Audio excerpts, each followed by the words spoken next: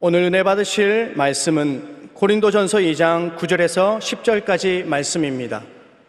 고린도전서 2장 9절에서 10절까지 말씀을 다 같이 봉독하겠습니다. 기록된 바 하나님이 자기를 사랑하는 자들을 위하여 예비하신 모든 것은 눈으로 보지 못하고 귀로 듣지 못하고 사람의 마음으로 생각하지도 못하였다 함과 같으니라. 오직 하나님이 성령으로 이것을 우리에게 보이셨으니 성령은 모든 것, 곧 하나님의 깊은 것까지도 통달하시느니라. 아멘. 주님께서 주신 생명과 인본주의적 모형이라는 제목으로 은혜를 나누겠습니다. 우리의 삶의 주변에는 많은 나무와 풀들이 있습니다. 그런 화초를 본따서 인간이 만든 인조 화초도 있습니다.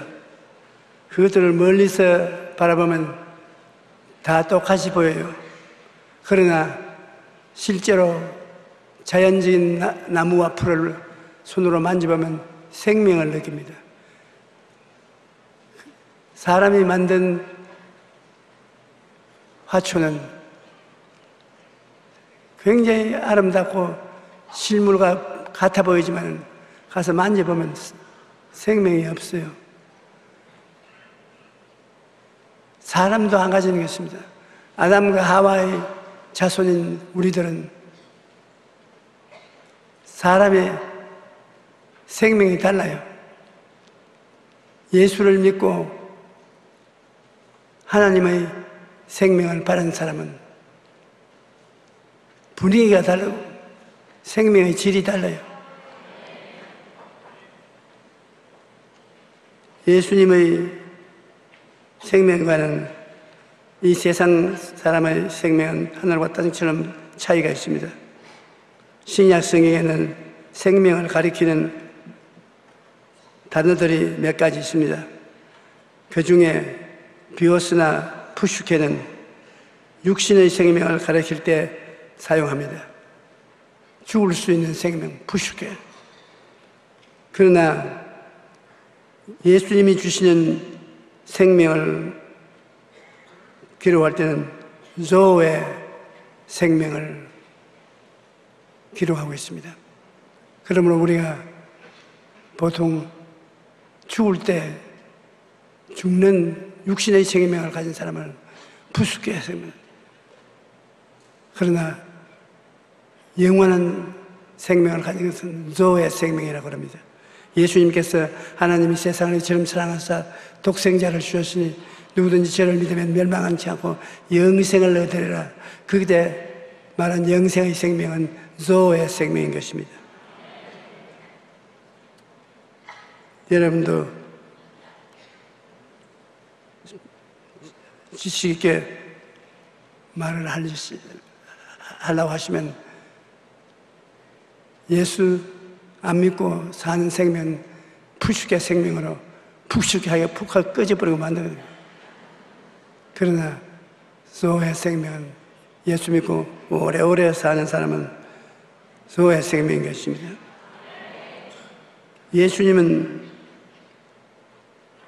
부활하심을 통해서 우리 속에 성령의 생명을 주셨습니다. 그러나 이제 그리스도께서 죽은 자 가운데서 다시 살아나사 잠자는 자들의 천 열매가 되셨도다. 사망이 한 사람으로 말미암아 죽은 자의 부활도 한 사람의 말미암은도다. 아담 안에서 모든 사람이 죽은 것 같이 그리스도 안에서 모든 사람이 삶을 얻으리라. 아들이 있는 자에게는 생명이 있고 하나님의 아들이 없는 자에게는 생명이 없느니라. 생명이라는 것은 예수 그리스도만이 가지고 있는 영생이기 때문에 예수님을 모시고 있는 사람은 생명을 모시고 있는 것입니다.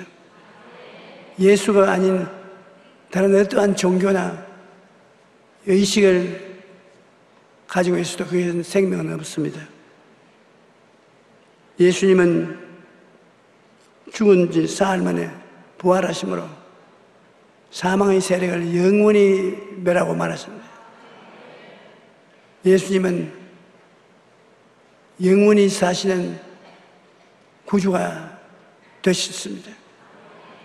우리가 예수님을 모시고 있으면 예수님이 바로 영생을 갖고 우리 속에 들어오시는 것입니다. 사람마다 목마른 인생을 살아 갔습니다. 어떤 사람은 권력에 목마르고 또 어떤 사람은 명예에 목마르고 어떤 사람은 부에 목이 마르고 어떤 사람은 사랑에 목이 마르고 타인의 인정에 목이 마르고 이 세상 사는 사람은 모두 다 목마른 인생을 살고 있습니다. 예수님께서 우리를 보시고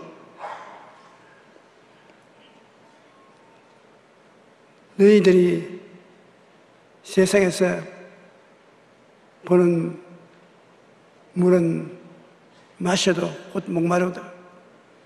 내가 주는 물을 마시면 목마르지 않고 그 뱃속에서 영원히 솟아오른다고 말하는 것입니다. 사람마다 원하는 것은 다 다르지만 그것을 목말라 하는 이유는 행복을 가져오기 원하기 때문인 것입니다.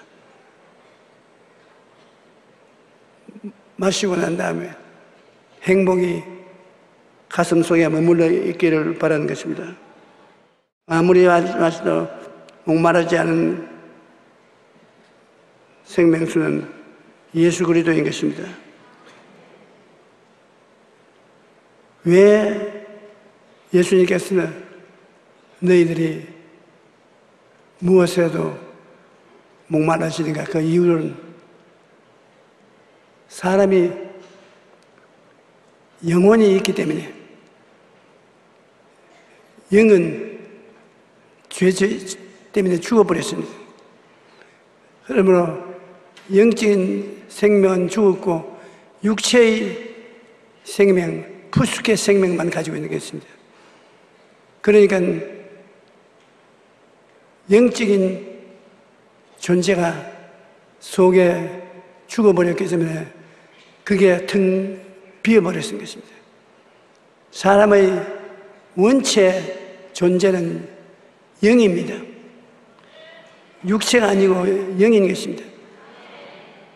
하나님의 형상과 모양으로 지음받은 영이 죽어서 영이신 하나님과 대화가 되지 않습니다. 실제로 이 세상에서 하나님과 대화를 할 수 있고 영원히 행복을 누릴 수 있는 것은 영이 살아야 되는 것입니다. 그런데 영이 죽은 사람이 집이나 명예나 권세나 돈이나 세상의 칭찬이나 이런 것 가지고서 행복을 누리려고 하는데 아무리 그런 것을 가져도 참 자기인 영이 죽어 있기 때문에 만족하지 않습니다. 여러분, 오늘 저 말씀을 듣는 사람 중에 예수를 믿지 않는 사람은 참된 자는 죽었습니다. 참된 당신은 죽었어요. 당신은 그 사람을 되우려 살고 있지, 속 사람은 죽어 있기 때문에 그 허무한 감정은 끝이 없습니다. 그러나 예수 그리스도를 믿은 여러분은 영혼이 살아있는 사람이겠습니다. 그러므로 여러분 가슴 속에는 만족함이 있고 행복이 있습니다. 영이 죽은 사람이 하나님 나라에 들어와서 아무리 이야기를 해도 알아듣지 못합니다. 죽은 사람이 하늘나라 세계를 알 도리가 없는 것입니다. 예수님께서 이 물을 마시는 자는 다시 목마르니와 내가 주는 물을 마시는 자는 영원히 목마르지 아니하여 내가 주는 물은 그 속에서 영생하도록 솟아나는 샘물이 되리라. 주님이 주시는 생명수를 마시고 영원히 살아난 사람은 목마르지 않습니다. 예수님을 믿으면 우리 안에 성령께서의 마심으로 우리 안에 참된 기쁨과 만족이 솟아나는 것입니다. 어느 목사님이 당광촌을 방문을 했습니다. 석탄 캐내는 당광촌에 가서 예배를 인도했는데 예배를 인도하고 나니까 당광부 한 사람이 목사님 질, 질문이 하나 있습니다. 예수님을 믿으면 그 믿음 하나 때문에 구원을 받는다고 말하는데 나는 그게 도저히 믿을 수가 없습니다. 어떻게 공짜로 구원을 받을 수 있습니까? 그 목사님이 그 탄광부를 보고 내가 하나 묻겠습니다. 오늘 경도에 들어갔다 나왔습니까? 탄광 캐는 경도에 들어갔다 나왔습니까? 예, 들어갔다 나왔습니다. 그런데 한번 들어갔다 나오는데 돈을 얼마나 줍니까? 엘리베이터를 타니까 탄광 경도에서 지하에 내려갔다 땅 위에 올라갔다 하는 엘리베이터에 돈을 얼마나 냅니까? 아니, 우리 돈 안 내요. 회사에서 다 설비를 해서 엘리베이터를 운영하기 때문에 돈 안 내고 타고 옵니다. 와, 이렇게 거대한 시설을 하는데 돈을 안 내고 공짜로 타고 올라갔다 내려갔다는 난 참말로 드리지 않습니다. 아니요, 여기는 돈 안 냅니다. 그와 하나님은 여러분을 지옥에서 천국으로 오락내락 할 수 있는 엘리베이터를 만들기 위해서 돈을 얼마나 썼으면 비용이 얼마나 들었겠습니까? 그 엘리베이터는 하나님의 아들 예수님이 그 엘리베이터요. 하나님께서 예수님을 구세주로 이 세상에 보내서 인간이 탈 수 있는 엘리베이터를 만들었으니 얼마나 비용을 많이 들였습니까? 사람은 믿기만 하면 됩니다. 당신 돈 안 내고 엘리베이터 타는 것처럼 아무 비용 없이 예수님을 믿기만 하면 구원을 받습니다. 그러므로 믿음의 단추만 누르십시오. 여러분, 이 세상에 태어난 사람 치고 죄를 짓지 않고 의를 행한 사람은 한 사람도 없습니다. 하나님 앞에 구원받는 것은 은혜를 통해서 구원을 받습니다. 은혜라는 것은 비용이 하나도 들지 않은 공짜를 말한 것입니다. 그 은혜를 인하여 믿음으로 말미암아 구원을 하는 것입니다. 하나님은 은혜로 예수님을 주셨고 예수님은 우리를 사랑으로 감사하는 것입니다. 사랑이라는 것은 한없이 자기를 내어주는 사랑인 것입니다. 그러므로 은혜와 사랑 이 두 가지를 하나님 우리에게 주셨고 우리는 그것을 받는데 믿음으로 받는 것입니다. 믿음으로 은혜도를 받고 믿음으로 사랑을 받습니다.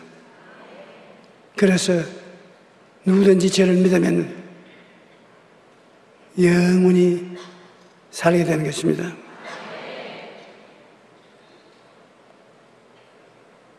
이 세상에 다른 종교들은 다 대가를 지불해야 구원받는다고 말을 합니다. 대가를 지불하지 않고 그냥 산다는 것은 있을 수 없습니다.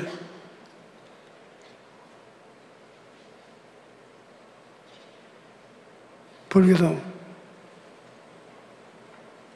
부처님을 믿어서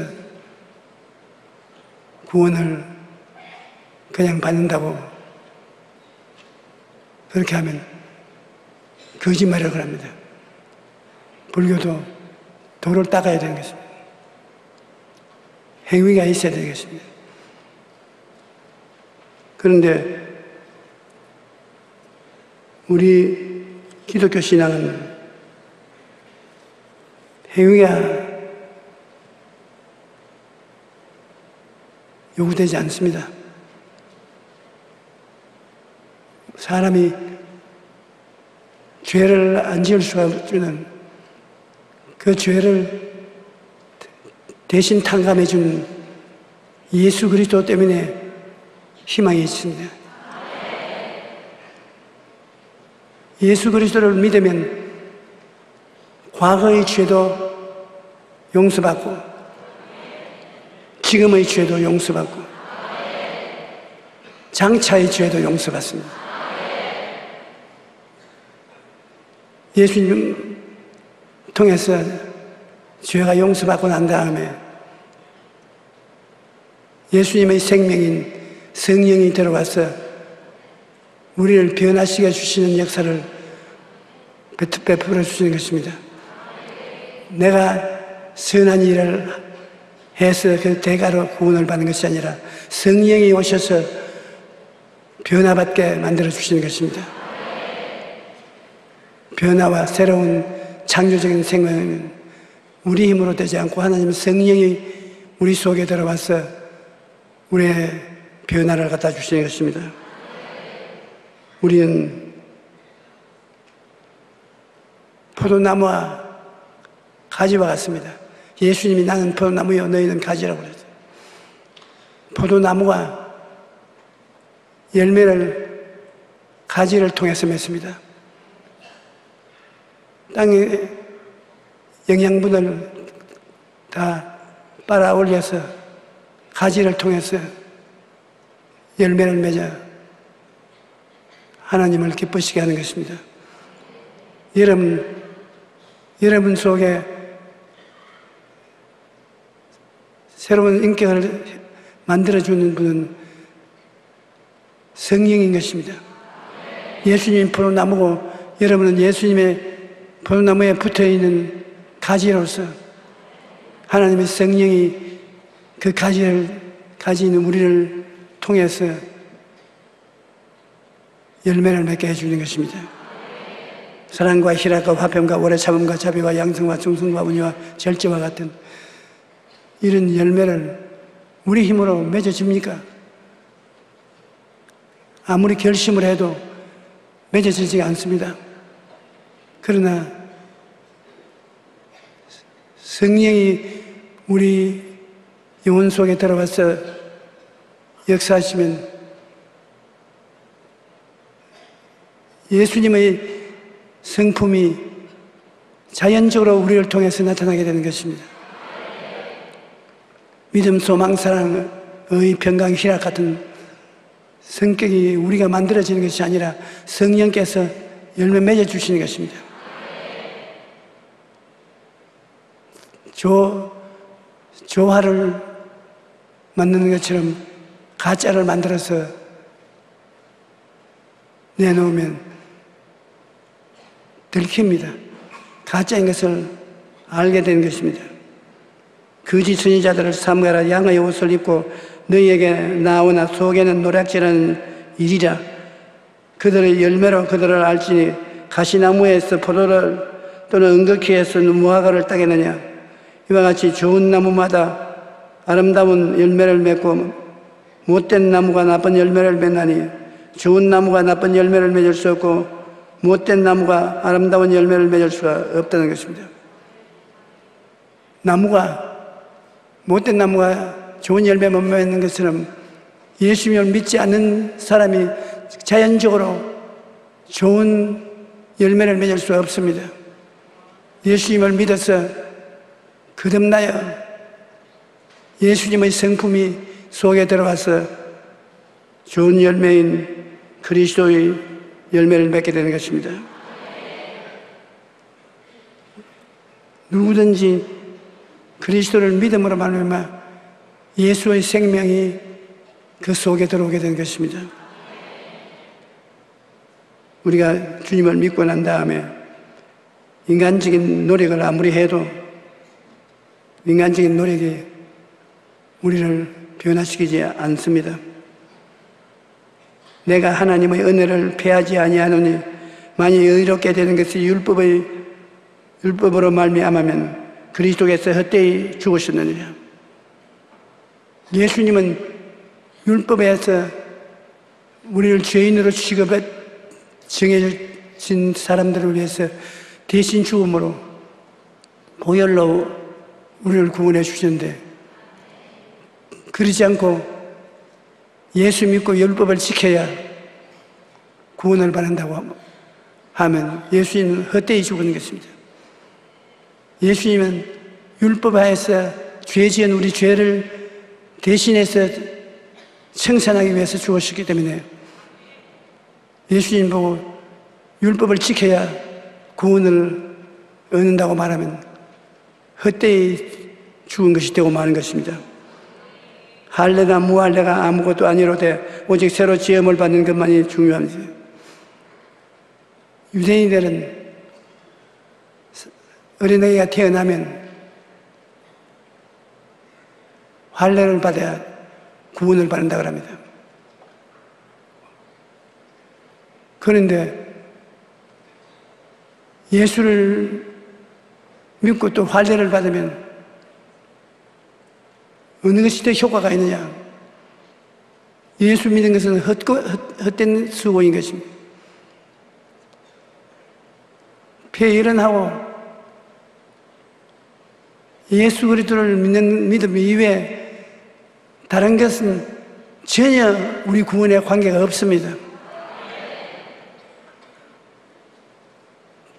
정말로 신앙생활에 너무나 놀라운 것은 죄를 짓고 불의하고 추악한 사람이 과거의 죄도 현재의 죄도 미래 지을 잘못된 죄도 그리스도 안에서 믿음으로 다 청산돼 버린 것입니다. 예수님이 그 모든 죄를 짊어지고 십자가에서 피를 흘려 죽으셨습니다. 예수님 숨이 넘어가기 전에 뭐라고 말하셨습니까? 내가 다 이루었다고 말한 것입니다.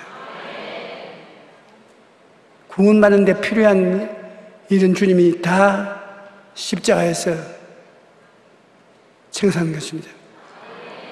십자가의 고난을 통해서 우리 인간의 평생의 죄악을 다 청산해 주신 것입니다. 또그 보혈로 우리를 정결하게 해서 성령 충만을 받을 수 있게 만들어 주고 그 십자가의 보혈을 통해서 우리 마음과 육체의 질병을 다 청산해 버렸어요.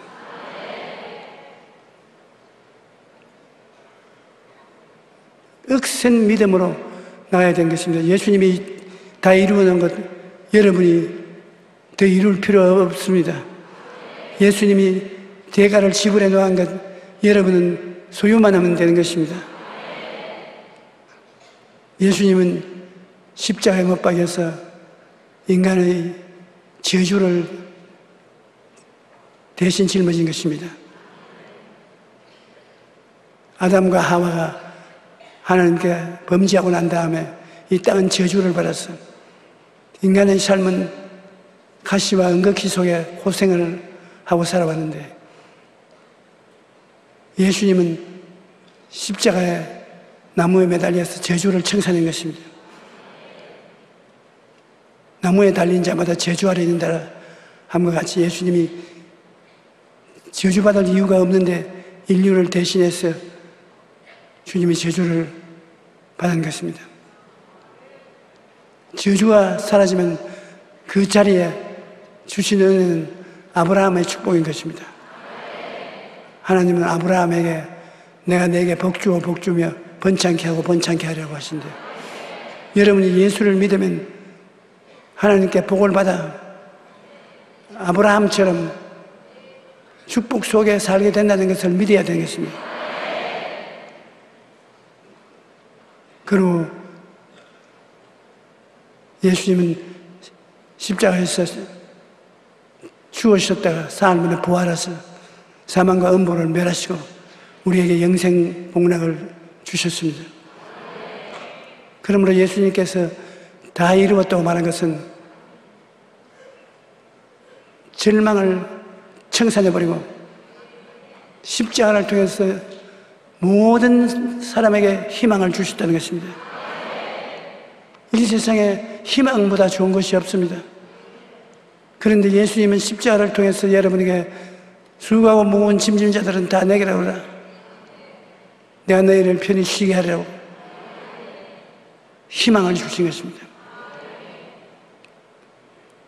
여러분, 예수 그리스도를 믿으면 그리스도가 여러분을 대신해서 죄와 더러움과 질병과 저주와 음부를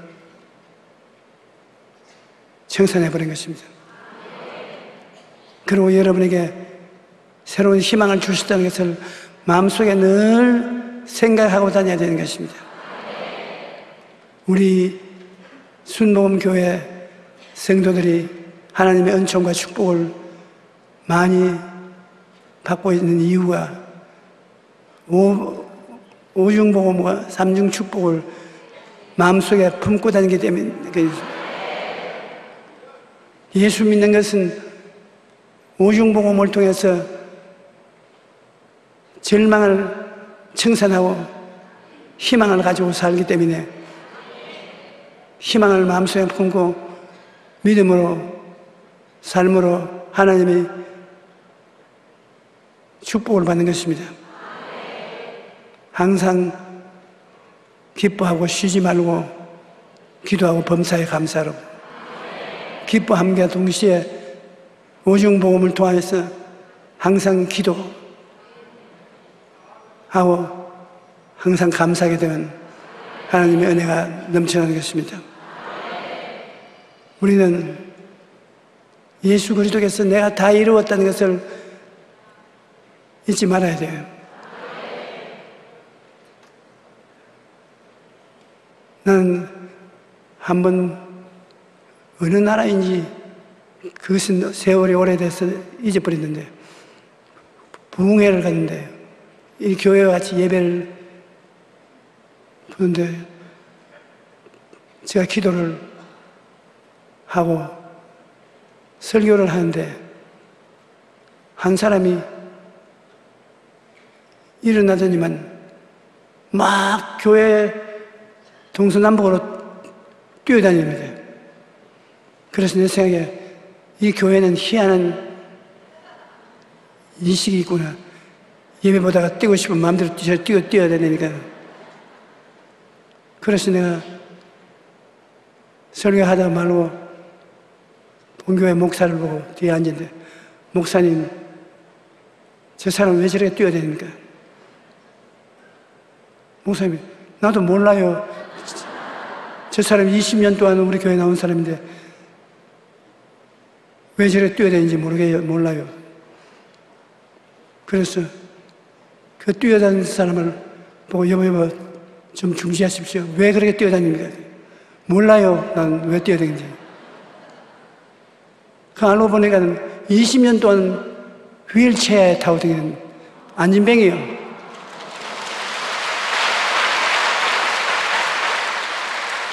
갑자기 하나님 성령께서 가슴을 뜨겁게 어루만져 주시니 귀에 대고 내가 다 이루었다 그러더라고요.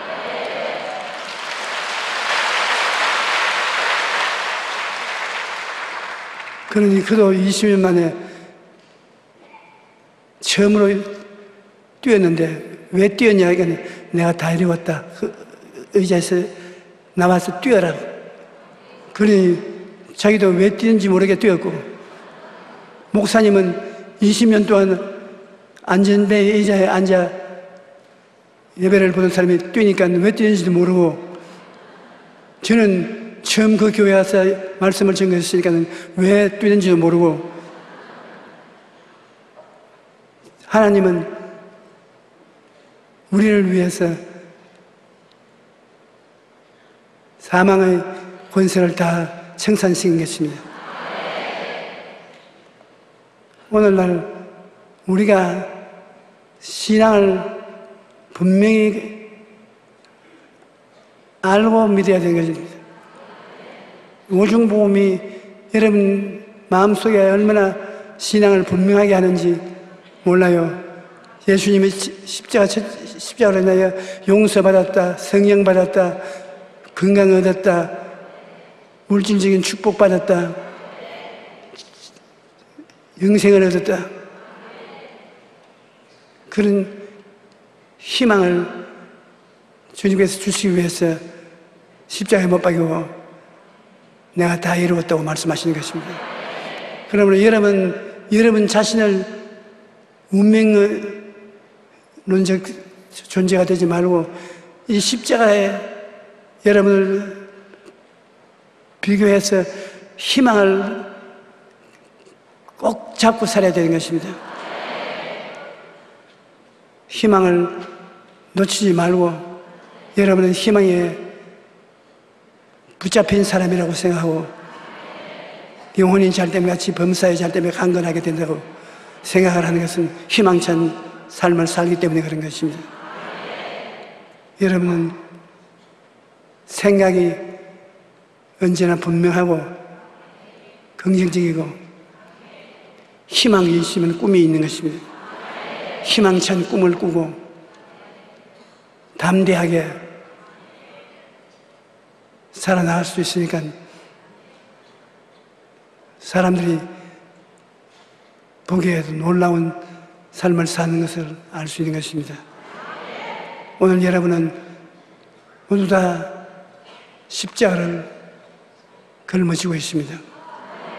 우리가 항상 예수의 죽음을 몸에 짊어지면 예수의 생명도 우리 몸에 나타나게 하려면 예수님의 십자가를 여러분님이 걸머지고 있으면 여러분 생애 속에 오중복음의 희망이 넘쳐나기 때문에 그 희망의 결과로 영혼이 잘 되고 범사에 잘 되며 강건하고 생명을 얻때 충만하게 얻는 기적이 일어나게 되는 것입니다. 우리가 예수 그리스도를 믿으면 종교적으로 형식적으로 믿는 것이 아니라 우리의 삶을 변화시켜 주시고 새 사람으로 만들어 주시는 희망찬 인생을 주시기 때문에 여러분 긍정적인 말을 자기 자신 보고 늘 해야 되는 것입니다. 내가 낙심되면 내가 낙심되지 않도록 주님께서 같이 계심으로 다 이루어졌으므로 희망차다고 소망차다고 슬프면 주님이 있으므로 기쁘다고 자기를 격려하고 위로하고 행복하게 살아갈 수 있도록 만드는 것은 여러분 자신이 그렇게 해야 되는 것입니다.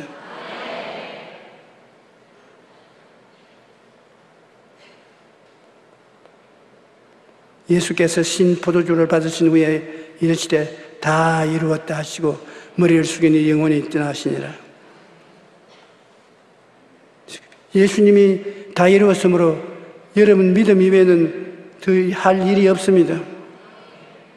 생명을 믿음으로 얻은 우리는 한없이 감사해야 될 때문인 것입니다. 우리가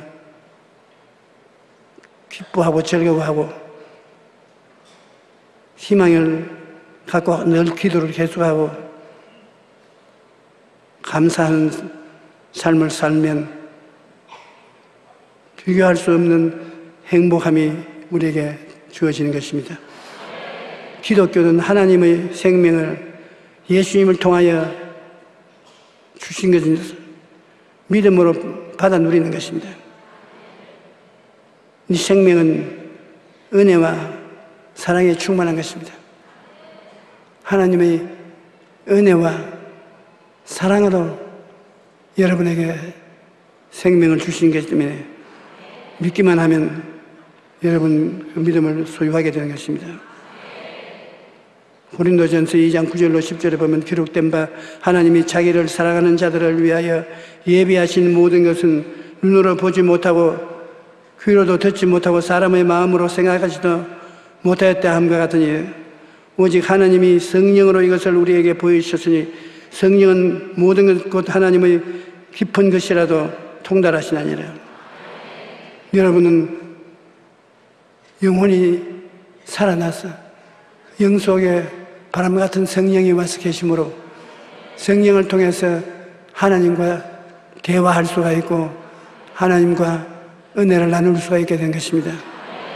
그러므로 행복해질 수가 있어요. 목마르지 않습니다. 영혼이 살아서 충만한 기쁨과 소망이 있습니다. 하나님께서 여러분을 기뻐하시고 여러분과 같이 계신 것입니다.